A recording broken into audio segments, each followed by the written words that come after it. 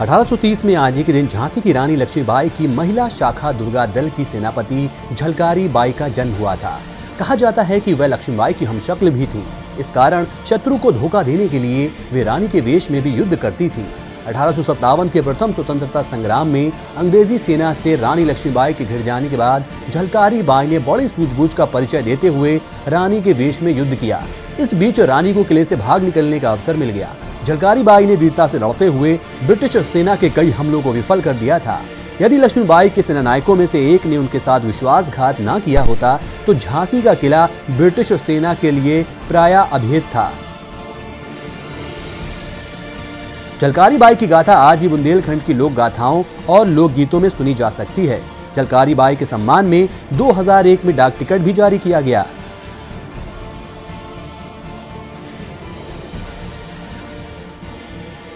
उन्नीस में आज एक दिन अमेरिका के 35वें राष्ट्रपति जॉन एफ़ कैनेडी की डलास में गोली मारकर हत्या कर दी गई थी। पूरी दुनिया को सन्न करने वाले इस हत्याकांड की गुत्थी आज तक नहीं सुलझी है।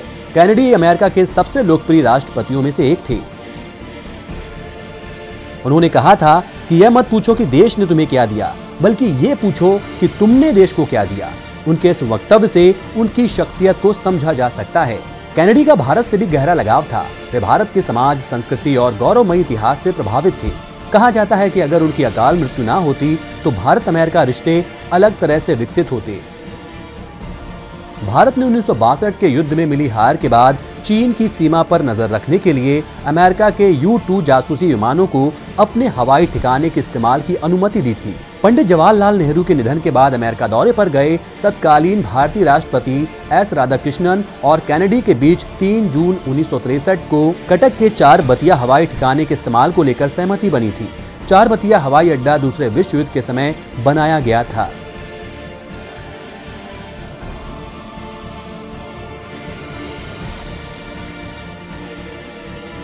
उन्नीस सौ नब्बे में आज एक दिन ब्रितानी प्रधानमंत्री मार्गरेट थैचर को अपना पद छोड़ना पड़ा था। थैचर को दूसरी बार पार्टी नेता बनने के चुनाव में कैबिनेट ने समर्थन देने से इनकार कर दिया। हालाँकि उन्हें तब तक पद पर रहना था, जब तक नेता का चुनाव नहीं हो जाता। मगर ये भी तय किया गया कि वो पार्टी के नेता के चुनाव में माइकल हैसल के सामने नहीं खड़ी हो सकती थी। दरअसल यूरोपियन संघ में ब्रिटेन के शामिल होने को लेकर पर्यावरण मामलों के पूर्व मंत्री हैसल टाइन के साथ थैचर का लंबा विवाद चल रहा था, जिसे लेकर प्रधानमंत्री थैचर ने कहा कि साथियों के विवाद के चलते वो इस नतीजे पर पहुँची कि पार्टी की एकता और अगले चुनाव में पार्टी की जीत की बेहतर संभावनाओं के लिए वो त्याग पत्र दे दें। प्रधानमंत्री के निवास स्थान डाउनिंग स्ट्रीट में उनके कार्यालय की ओर से स्थानीय समय अनुसार सुबह साढ़े नौ बजे बयान जारी किया गया कि थैचर ने मंत्रिमंडल और महारानी को इस बारे में सूचित कर दिया है।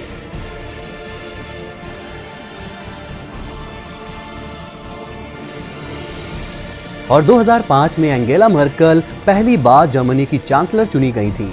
जर्मनी की चांसलर बनने वाली वो पहली महिला थी।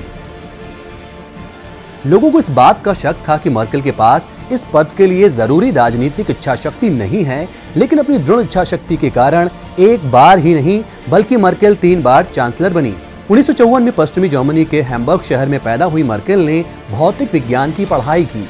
राजनीति में आने से पहले वह फिजिसिस्ट, केमिस्ट की नौकरी करती थी। जर्मनी के एकीकरण के बाद 1990 में उन्होंने बुंडेलस्टाग चुनाव में हिस्सा लिया और जीत हासिल की। जिसके बाद उन्होंने कई अलग अलग मंत्रालय संभाले। मर्केल की कूटनीति ने उन्हें यूरोप और जर्मनी में एक अहम राजनीतिज्ञ बनाया है। फोर्ब्स पत्रिका ने उन्हें दुनिया की सबसे प्रभावशाली महिला माना है। परमाणु ऊर्जा को अलविदा कहना, सेना में अनिवार्य सेवा खत्म करना और जर्मन निर्यात को पटरी पर लाना उनके महत्वपूर्ण फैसले हैं।